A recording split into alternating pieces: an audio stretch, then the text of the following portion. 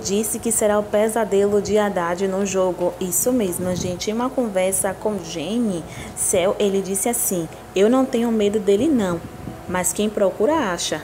Não é ele que estava tentando procurar problema em mim? Mas sabe o que ele procurou? Eu vou ser o pesadelo dele. Esse vai ser o problema.